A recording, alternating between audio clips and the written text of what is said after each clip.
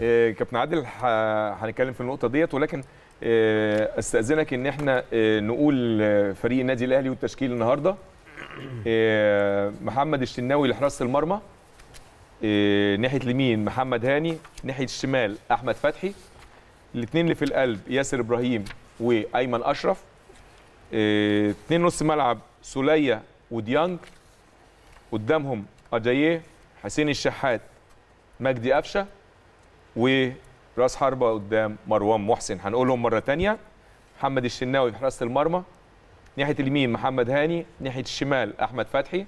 الاثنين اللي في القلب ياسر إبراهيم أيمن أشرف. الاثنين اللي قدامهم سولية ديانج.